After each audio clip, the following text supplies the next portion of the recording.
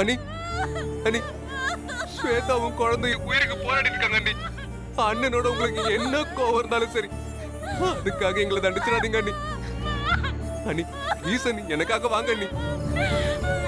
டாக்டரா இருந்தாலும் தனக்குன்னு வரப்போ ஸ்வேதா பயப்படுறா அண்ணி. அண்ணி என் குழந்தை இது வரைக்கும் நல்லபடியா இருக்குன்னா அதுக்கு காரணமே நீங்க தான் அண்ணி. அதை நன்றிக்கு நான் மறக்கல அண்ணி. இந்த நேரத்துல எங்க அம்மாவா?